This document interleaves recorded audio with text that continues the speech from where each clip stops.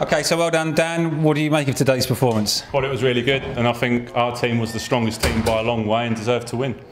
Disappointed you didn't get your hat trick? Yeah, but who would have thought I'd get one? So I'm happy with a brace. And uh, do you think you want to do this again next year? 100%, definitely. Yeah. And what do you think about the other team?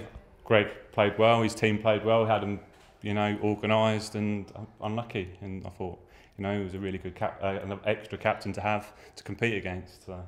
And man of the match for you today? Oh, apart from me, I would probably have to say Tom. Yeah, in the midfield. Yeah, um, actually, Tom and Pete Short. I thought Yeah. both played really well today. Yeah. What a great day! What a great day! Every all the lads enjoyed it. We didn't we didn't win the game, but it's it's unfortunate. Dan's team were the better side on the day.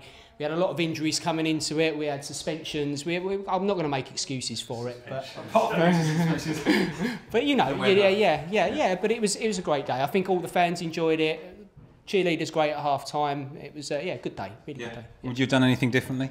Uh, yeah, picked a different set of eleven players that were better than your set of eleven. But no, no, no, it was it was it was fine. I wouldn't have I wouldn't have changed the team for the world. We did we did all right. We did all right. Any plans for this evening? Uh, getting wasted. Okay, brilliant. Thanks very much. cheers, cheers, guys.